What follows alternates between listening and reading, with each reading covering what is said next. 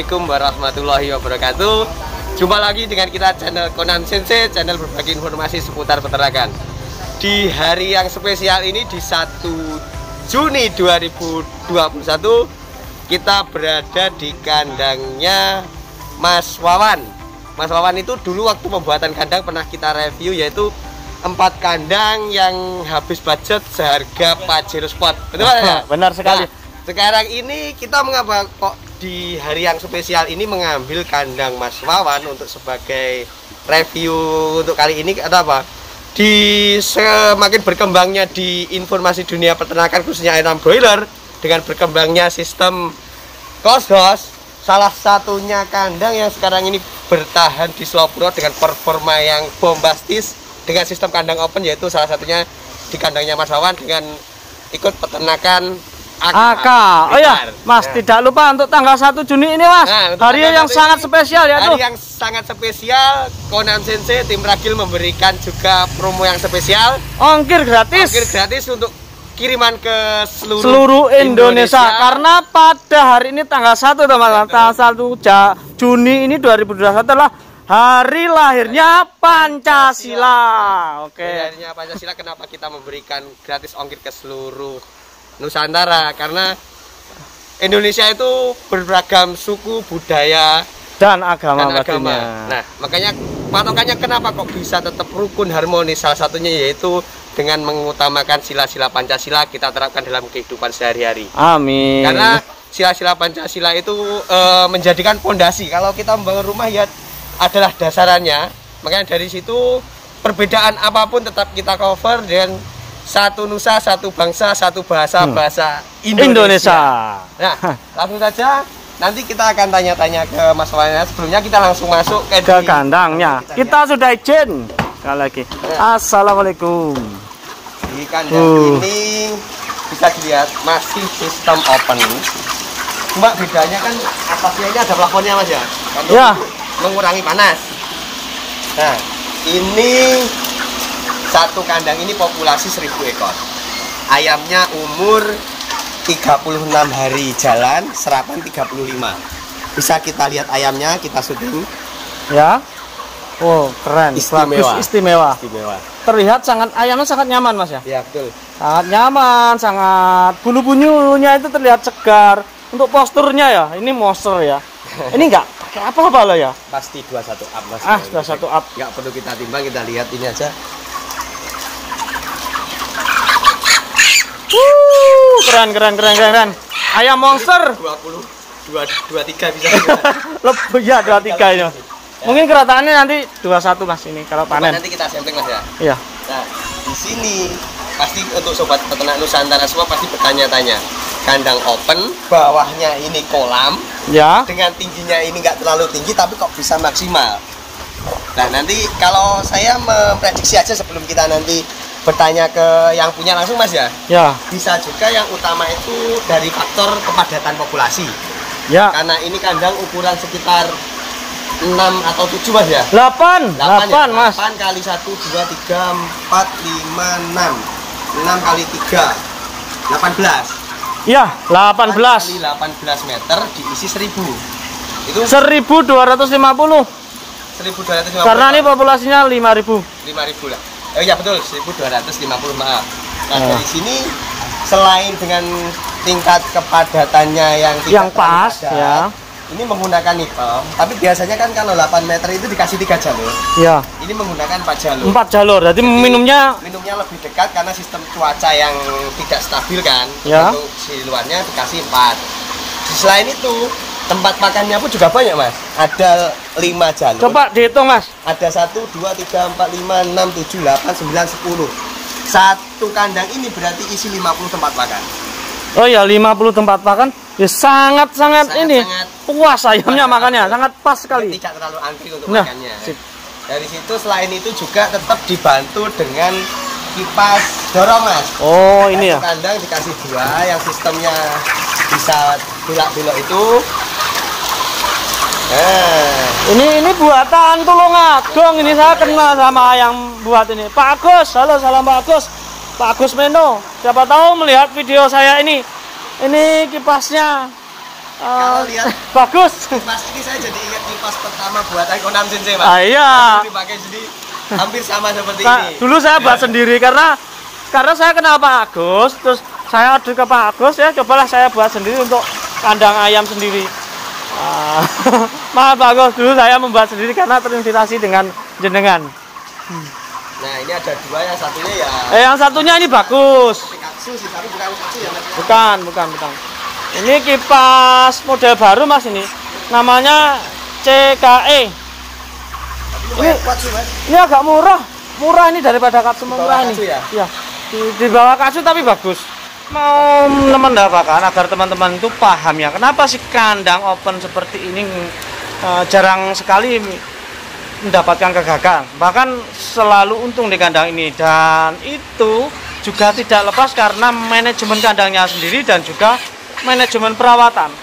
Semua harus seimbang. Nah, di antara lain eh, kandang ini mm, berdirinya juga di tengah-tengah sawah jauh dari perkampungan. Artinya apa? Kandang ini juga termasuk su- sudah satu keunggulan jauh dari pemukiman, jauh dari aktivitas juga eh, orang perkampungan yang padat yang mengakibatkan mungkin bisa mengakibatkan tingkat stres ayamnya juga karena kadang ada gangguan dari dari kampung ya banyak sekali dan kandang di tengah sawah ini sangat sekali lo apa namanya eh, angin maksudnya oksigen sangat melimpah ya sekali melimpah sekali untuk ini. Kemudian untuk panasnya ini plafon sekali lagi. Ini ini enggak main-main ini teman-teman manfaatnya. Ini manfaatnya sangat besar lah. Dulu kandang ini berdiri pas waktu buat saya ngotot untuk pemiliknya eh, saya usulkan untuk dikasih plafon. Dikarenakan apa? Eh, plafon ini untuk mencegah panas sangat efisien. Padahal ini cuaca panas kemudian selain plafon ini ada lagi.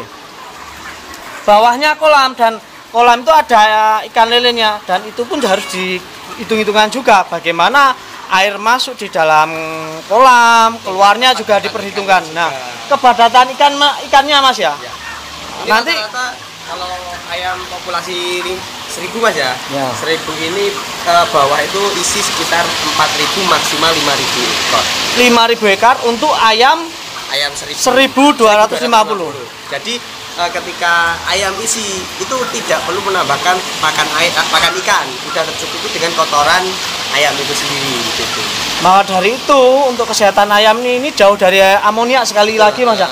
Ayamnya sangat kandangnya jauh dari amonia, ayamnya juga tanpa menghirup amonia, akhirnya oksigennya melimpah di sini sekali lagi.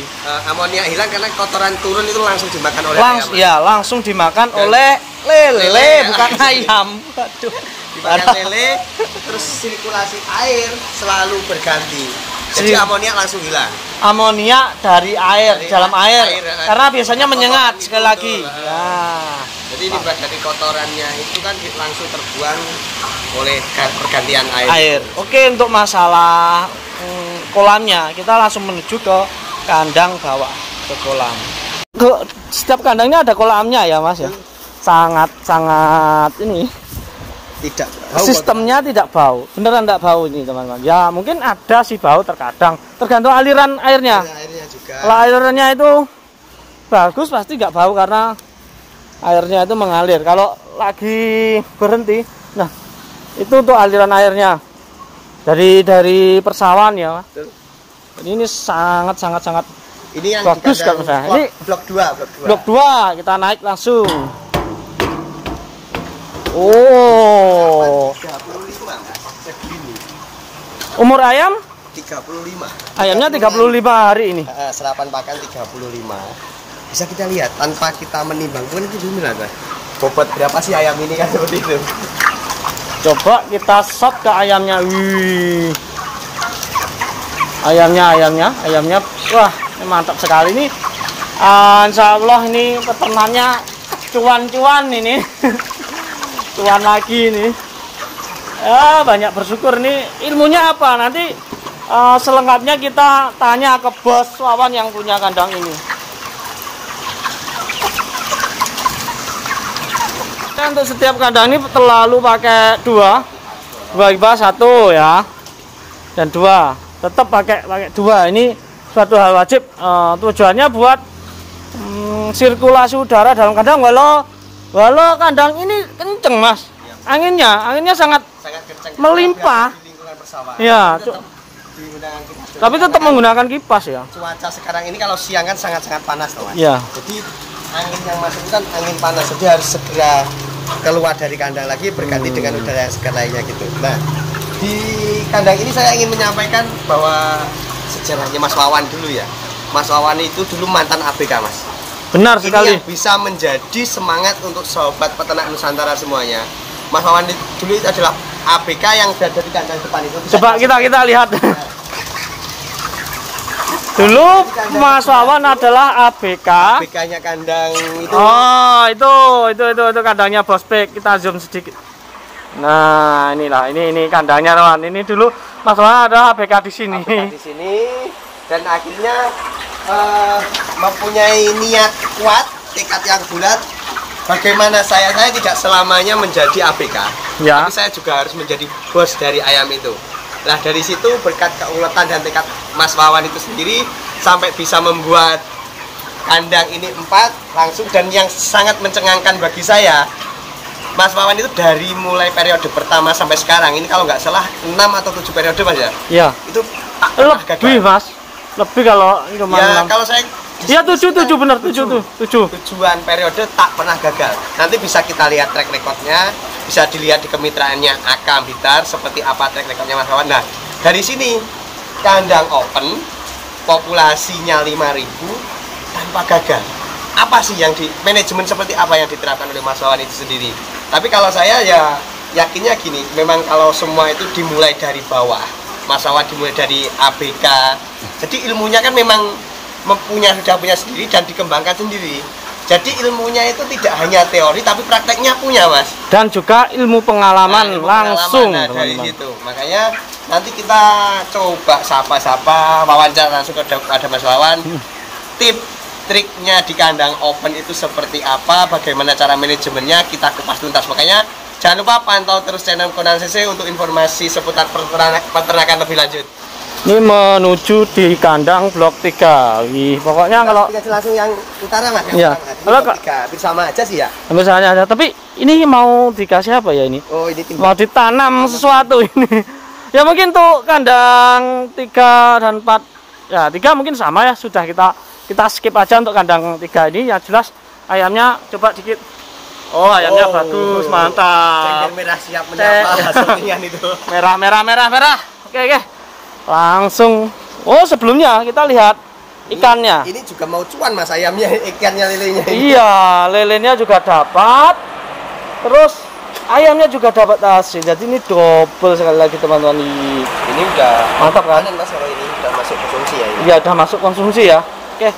Ah, sukses buat Mas Wawan kita lanjut langsung aja ke blok kandang blok 4 untuk tangganya ini pakai besi jadi sangat kuat sangat kuat dan memang tidak cemen mas ya Oh. kacang-kacang ya manajemennya. Saya rasa untuk setiap kandang ini ayamnya nggak bisa dibedain ya. Semua bagus, bagus lah. Malah untuk kandang yang tiga ini, angin kipasnya tiga sendiri ini, tiga sendiri ya. Coba. Mungkin mungkin untuk eh, kandang di sini tuh kekurangan angin mas ya. Jadi itu Mas Wawan paling ujung ya mas Nah, memilih kalau untuk kandang Pak untuk utara ini dikasih double kipasnya. Mau kalah mas Iya, ayamnya wow, dua setengah mas wow, boloknya keren. Wow, keren lagi ini mengerikan ini. Bagus, mang peternak umur 35 hari 35 hari teman. ya mudah-mudahan mudah-mudahan di ini kan udah mau panen karena antri ya. Di Blitar khususnya di hari-hari ini kan serapan pasar ayam itu kan agak lesu mas. Ya mudah-mudahan segera panen segera habis dan bisa mengetahui hasilnya. Dan kita doakan kepada Mas Wawan semoga untuk periode ini meskipun harga agak turun tapi tetap mendapatkan hasil yang maksimal. Seperti itu mas ya? Ya oke. Kita lanjutnya mungkin untuk ma- masalah kandang ya udah eh, plafon yang jelas untuk kandang open itu wajib pakai plafon rapat loh teman-teman. Jadi ini kalau dilihat itu mirip-mirip kandang close juga, Ya, cuman sama. sistemnya open. Istrinya open gitu. Dan ayam nggak mau kalah sama kandang Kalau maka dari itu. Nah, ini sangat efektif untuk pencegahan panas plafonnya. Karena Ini atapnya ini kan SBS mas ya. ya SBS. Itu kan kalau siang terlalu panas, jadi kalau di plafon itu kan panasnya tidak langsung ke ayam tapi mantul ke atas. Bahkan di sini nggak panas, anginnya yang bagus mas. Anginnya bagus. Anginnya yang bagus di sini tuh. Tapi saat satu hal yang perlu sangat diperhatikan untuk kandang open yaitu memang lingkungan yang tahu Ya. lingkungan di kandang ini berada di pesawan jadi sirkulasi udara sangat stabil itu pun sangat mendorong performa bagi ayam tersebut Ah. Gitu. nah itu mungkin nanti ketika teman-teman sobat ternak Nusantara semua ingin tetap bertahan di sistem kandang open, Open. terkendala dana dan lain sebagainya mas ya Hmm. itu perlu diutamakan yaitu tetap sirkulasi udaranya Ya, minimal kandangnya ini mah harus harus plafon. plafon. Nah, meskipun nggak di Nah. tengah sawah, tapi harus ada plafonnya. Plafon lah, ya. untuk menahan panas uh, dari atas. Oke. Selain itu ya itu sering saya sampaikan, kasihlah tempat makan dan tempat minum lebih dari standar. Nah, Iya seperti itu. Nggak mungkin kalau kita memberikan tempat makan dan tempat minum itu lebih, ayam itu akan makannya Leb, Nah, bengkak, iya, nggak makanya mungkin itu. ya mas. Nggak Mungkin ayam Nggak tuh ada makan sesuai sesuai dengan kondisi badannya. Iya. Tadi karena SC karena SCR itu juga nanti berhubungan dengan bobot. Maka Deru mau dikasih berapa itu eh, nanti berhubungan dengan bobot. Jadi teman-teman nggak usah takut untuk memberi tempat makan yang banyak ini. Semakin banyak semakin juga ayamnya itu tidak akan eh, terteritori. Jadi ayamnya akan makan eh, di tempat masing-masing. Dia akan nyaman di tempat ini, nggak akan berebut. Maka dari itu eh, untuk tempat pembela- penambahan tempat makan, tempat minum itu harus benar-benar eh, juga diperhitungkan. Jangan sampai kurang, kalau bisa lebih tidak apa-apa, namun jangan berlebihan. Ini perlu diperhatikan kalau kandang open teman-teman. Ini pakannya juga eh, harus diukur ya. Kalau makan Nah, kalau kandang open biasanya untuk siang ini pakannya juga di Dijatah lah Mas. dijatah, diberi makan yang cukup lah agar nanti tidak bengkak FCR dikarenakan kalau siang itu terkuras oleh suhu. Jadi akan buang-buang. Nah maka diri untuk persoalan ini kalau siang makannya juga diberi secukupnya aja nanti dilanjut untuk sore pemberian makan. Nah untuk tandonnya mungkin bisa contoh ini. Tandonnya itu pakai tong biasa ya. Ya tong biasa di dalam ada otomatis seperti ini Kimpulnya. nah kimpul jadi aman nah, contoh ya dicontoh ya sekali lagi contoh nanti masuknya di belakang nah Jadi itu masuk airnya Takut kalau tumpah ya Mas. nggak akan takut nggak akan takut nanti berapa jadi tinggal otomatis tandonnya kecil tidak beli tandon yang besar-besar Terus kemudian ini dikasih Stop kran. stop kran untuk mengatur besar kecilnya Tekanan air yang tekanan keluar. air. Oh, nah. untuk tandonnya ini di, di model begini simple, Simple. elegan, Mas. Nah. Simple, elegan tapi tidak mengurangi kekuatan dari fungsi dari ini sendiri. nah Ini bisa kita lihat cuma se segitiga bawahnya. Ikut ikut cagak mas Ya, eh. cagak cor jadi kuat Nah, kelebihannya lagi tandon yang kecil itu bukan da- dari segi hematnya Mas ya. Tapi Efisien. memberikan obat atau apa itu enak. Takarannya pun kita meng- mengukur itu enak. iya Ini makanya kan mungkin sekitar ini 75 liter, Liter, ya. 100 lah. Nah, itu kan nanti kalau buang tinggal kita buang. Jadi sangat efisien lah kalau saya. itu untuk kandang open ini di bagian samping itu ada paranet untuk penahan blok panasnya dari mungkin dari sebelah kanan ini terlihat panas maka itu ditambahkan paranet agar menahan panas. Nah, ini saya lo lo lo ini ada CCTV teman-teman. Jadi eh, ada pengamannya. Waduh, kita syuting tapi kita juga di syuting ini. keren keren. Jadi kandang ini juga penuh keamanan jika terjadi hal-hal yang tidak ingin tidak diinginkan mesti eh, seperti nanti ada maling yang masuk walau ini kan di tengah sawah walau ini ada pagar besi maka se- seperti CCTV itu dibutuhkan kita sudah menuju ke gudang Mas Jan sudah ada di gudang. Ini bersama Bos Wawan. Sudah kelihatan dari rambutnya yang terbakar oleh sinar matahari. Aduh bos. Bisa minta waktunya sebentar? Oke, Mas Wawan. Ini turis dari mana nih? Negara mana nih? Sorry Mas Wawan, apa kabar?